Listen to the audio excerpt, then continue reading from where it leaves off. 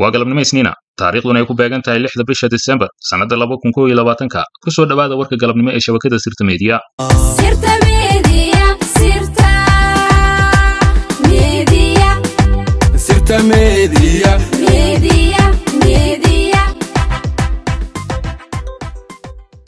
sida caadada ah shabakada sirta media ayaa idiin soo gudbinaysa xog hoose oo sir ah uuna inoo soo diray qoraaga ugu shacbiyadda badan baraha bulshada ee seyraar cadde haddaba ka bogta xogta oo dhammaystiran. Fahamsanaan la'aanta waayaha siyaasadeed ee uu dalkeena soo maray ee ra'iisul wasaaraha xukuumadda xilgaarsiinta maxamed xuseen roble garashiyarida ku aadan ku xisaabtanka habka waxqaybsiga soomaalida ah ee nidaamka ee ra'iisul wasaare maxamed xuseen roble gudiyada doorashada heer federaal iyo heer maamul goboleedba oo aan ahayn guddiyo ku dhisan hab cadaalad ah oo laysku halayn karo. Fadeexadii ka dhalatay boobka doorashooyinkii ka dhacay maamul goboleedyada galmudug iyo koonfur galbeed. Soo saarista go'aamada isburinaya ee ra'iisul wasaaraha iyo gudiyada doorashada.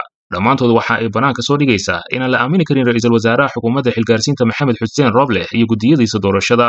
Kadib qoraa seraar cadde ayaa waxaa warbixintiisa ku leeyahay waxaan qormadeeda ku soo qaadanayaa xogo rasmi ah oo aan ka helayno xafiiska ra'iisul wasaaraha xukuumadda xilgaarsiinta maxamed xuseen roble xoguhu waxa ay si daafuran oo aan mugdi ku jirin inooga xaqiijinayaan in ra'iisul wasaare maxamed xuseen roble aan lagu aamini karin masiirka ummadda soomaaliyeed gaar ahaan doorashada dalka ka socota iyo amniga doorashada intaba. Sababaha aan looga aamini karinna waxaa noo sharaxaya mas'uuliyiin aad ugu dhow xafiiska ra'iisul wasaare roble oo aan sheegi karin magacyadooda. Shakhsiyaadkaasi waxa ay noo xaqiijiyeen in uusan ra'iisul wasaare maxamed xuseen roble ahayn qofka awoodda u leh fulinta shaqada culus ee uu maanta ku magacaaban yahay waxaan idiin soo gudbinaynaa ciladaha aan qarsooneen ee aan ka diiwaangelinay. Intii aan xafiiska ra'iisul wasaare maxamed xuseen roble ka shaqaynaynay waxaan ku bilaabaynaa inagoo si daafuran u sharaxayna qodobada soo socda kow ra'iisul wasaaraha xukuumadda xilgaarsiinta maxamed xuseen roble ma lahan awood hogaamineed ee uu ku kala saari karo wax qaldan ama wax saxan ra'iisul wasaare roble mar walba waxa uu taladooda dhegaystaa kuwa qaldaya oo kula talinaya talooyinka aan wanaagsaneen islamarkaana aan waxba ku kordhinaynin howlihiisa shaqo ee horyaala. Labo ra'iisul wasaare maxamed xuseen roble waxa uu aad ugu liitaa go'aanka qaadashada arrimaha masiiriga ah ee horyaala xafiiskiisa gaar ahaan maamulidda arrimaha doorashada dalka iyo amniga. Go'aanada farakutiriska ah ee uu qaatana awood uma lahan in uu difaaca si uu dhaqangeliyo. Saddex ra'iisul wasaare maxamed xuseen roble awood uma lahan inuu maamulo gudiyada doorashada heer federaal iyo maamul goboleed iyo amniga doorashada dalka.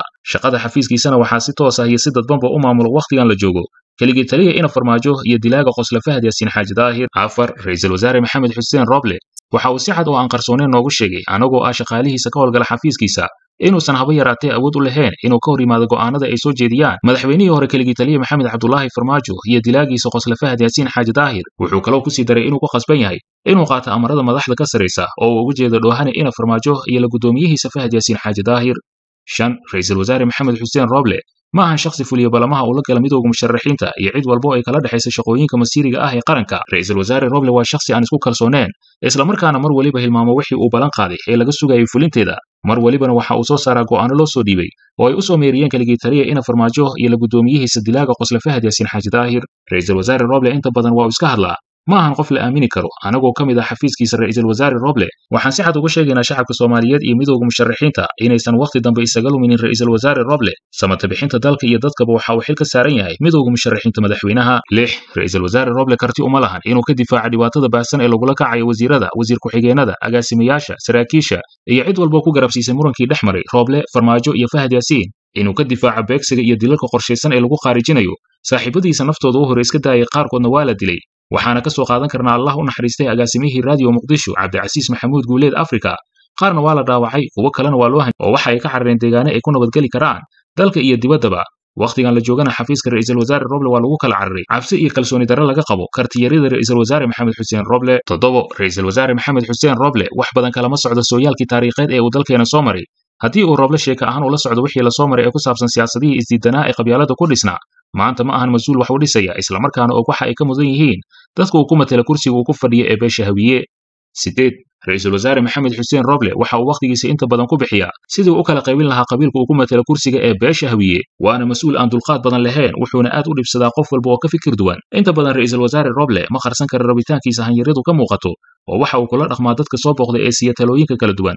Habdhaqan aan fiicneen kuwo ku dhaliila sida uu u hogaamiyey shaqada uu qaranku u hayo waxa ugu jawaabaa si aan wanaagsanayn isagoo ay wejigiisa ka muuqata cara aad u weyn mararka qaarna waxaad xaqiiqsanaysaa in ra'iisul wasaare roble uu dhibaato ku qabo sii wadista mas'uuliyadda uusan qaadi karin ee dusha laga saaray. Sagaal ra'iisul wasaare roble waxa uu maalgeliyaa odayaal dhaqan kusheeg ah oo aan matalaad rasmi ah ka haysanin qabiilada ay ka dhasheen. Inta badan odayaal kusheegaasi waxa ay ka soo jeedaan beesha hawiye. Odayaashaasi oo aad looga yaqaano muqdisho iyo agagaarkeeda. Ra'iisul wasaare roble waxa uu ka bixiyaa qarashaadka ku baxaya shirarka ay qabanayaan. Odayaal kusheegaasi inta badan waxay odayaal kusheegaasi aflagaadeeyaan. Cid walba oo ka fikir duwan siyaasadda madaxweynaha mudaxileedkiisu dhammaaday keligii taliya maxamed cabdulaahi farmaajo ra'iisul wasaaraha xukuumadda xilgaarsiinta maxamed xuseen roble iyo dilaaga qosle fahad yaasiin xaaji daahir kadib khoraasiraar cadde ayaa waxa uu tala soo jeedin u soo jeediyey midooda musharaxiinta madaxweynaha iyo cid walba oo ay khusayso sidii dalka iyo dadkaba looga badbaadin lahaa kooxda fidna kataliska ah ee u abaabulan burburinta dowladnimada iyo dhibaataynta ummadda soomaaliyeed si looga samatabaxay shirqoolada joogtada ah oo ay dhigayaan kooxda nabar naxdin waxaan ku talinaynaa inaan marnabo la aqbalin beenta iyo wakhti lumiska ka socda xafiiska ra'iisul wasaaraha xukuumadda xilgaarsiinta maxamed xuseen roble waxaan ka digaynaa inaan lagu kadsoomin jadwalka been abuurka ee maalin walba ka soo baxaya xafiiska ra'iisul wasaare roble iyo gudiyada doorashooyinka heer federaal iyo maamul goboleedba waxaan idin xaqiijinaynaa haddii aan nahay gacanyarayaasha ra'iisul wasaare roble inaan mar kale lagu dhicin shirqool kale oo wakhti kale loogu lumiyo ummadda soomaaliyeed iyo dowladnimadooda waxaan idin caddaynaynaa inaan doorasho xor iyo xalaala dalka laga qabanin. Ujeeddada keligii taliya ina farmaajo maxamed xuseen roble iyo fahad yaasiinna waa in ummadda soomaaliyeed la daaliyo wakhtigana laga lumiyo. Ugu dambaynna ay talada dalka sidaasi fooshu xun ku xalaalaystaan kooxda nabari naxdin si marka taasi loogu badbaadana waa in loo diyaargarooba sidii dalka looga qaban lahaa kooxda qowlaysatada ah ee nabari naxdin ee uu hogaamiyey keligii taliya ina farmaajo ra'iisul wasaare maxamed xuseen roble iyo la guddoomiyihiisa fahad yaasiin xaaji daahir mas'uuliyadda samata bixinta qarannimadeena iyo dadnimadaba waxa ay maanta saaran tahay midooda musharaxiinta madaxweynaha waxgaradka soomaaliyeed iyo cid walba oo aan looga maarmin gacan ku qabashada waxmagaratada soomaalidiidka oo ay hogaamiyaan dhoohane ina farmaajo roble lehelow iyo dilaaga qosle fahad yaasiin xaaji daahir. Inaan ka guulaysana dhagarqabayaasha arxanlaabayaasha ah waxa ay ku xirnaan doontaa hufnaanta go'aanada laga qaato kooxda dimuqraadiyad diidka ah ee nabari naxdin ee hogaaminaysa foodada iyo dib ugu celinta dalka dagaaladii sokeeye ee uu dalkeena soo maray kana soo kabanaya muddooyinkii ugu dambaysay waxaana huwaal maragma doontaa inay taariikhda xusi doonto muddo badan insha allah dhaqamadii foosha xumaa ee laga diiwaangeliyey kooxda qowlaysatada sharci diidka ah ee muddada ku dhow shanta sana maamulaya dalkeena ee nabari naxdin ee uu hogaamiye horjoogaha dagaal ogaha ah keligii taliya maxamed cabdulaahi farmaajo. Ku guddiga maamulka doorashooyinka koonfur galbeed baydhabo. Ku guddiga guddiga maamulka doorashooyinka somalilan muqdisho. Ku guddiga maamulka doorashooyinka galmudug dhuusamareeb og madaxweynayaasha maamul goboleedyada fadhiyadooda. Og ra'iisul wasaaraha muqdisho. Ujeeddo celin kuraas aan marin habraaca doorashada. Guddiga hirgelinta doorashooyinka heer federaal oo tix raacaya duruufaha iyo cabashooyinka ka yimi doorashada kadib markii guddigu baaritaan ku sameeyey doorashada golaha shacabka ee lagu qabtay muqdisho galmudug iyo koonfur galbeed. Ayna baaritaanadii ka soo baxeen kuraas aan waafaqsanayn habraacyada doorashada loo dejiyey. Guddigu waxa uu go'aamiyey qodobadan kow in kursiga sumadiisu ay tahay hob boqol konton iyo afar.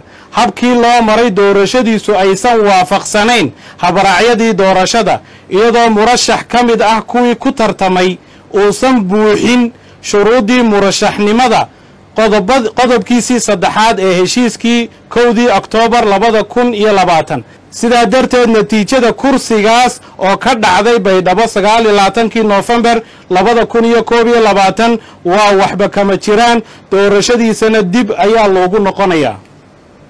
Laba kursiga ay tirsigi kursiga uu tirsigiisu yahay hob boqol iyo saddex iyadoo la tix raacayo go'aanka guddiga ee ku xusan warqadda sumadiisu tahay tixraac guddiga doorashooyinka heer federaal eber eber konton iyo lix islaash koob iyo labaatan. Uu soona baxday toddobiyo labaatankii noofembar labada kun iyo koob iyo labaatan go'aankaas oo lagu hakiyey in la qabto doorashadiisa. Sidaa darteed marka habraaca la dhammaystiro ayaa la qabanayaa doorashadiisa waxaa jira kuraas ay baxe ka soo noqdeen oo ka soo baxay galmudug oo hadda ay gacanta ku hayaan guddiga xalinta khilaafaadka. Iyaga ayaanu go'aankooda sugaynaa. Afar waxa kale oo waxa kale oo caddaynaynaa in habraaca ay soo dejiyeen mas'uuliyiin ka tirsan golaha baarlamaanka oo ka soo jeeda somalilan aan lagu dhaqmi karin guddiga doorashada somalilan wuxuu ku shaqaynayaa habraaca golaha wadatashiga qaranka. Waxa keliya oy somalilan kaga duwan tahay habraacyada doorashada dalka inay yihiin ergowadaag haddaba waxaannu la socodsiinaynaa cid kasta oo danaynaysa doorashada inaan guddigu aqbali doonin doorasho kasta oo baalmarsan hannaanka habraaca doorashada ee lagu heshiiyey. Guddiyada doorashooyinka heer federaal maamul goboleed iyo xalinta khilaafaadku waa guddiyo madax bannaan. Hawshoodana waxay u gudanayaan si ka madax bannaan faragelin siyaasadeed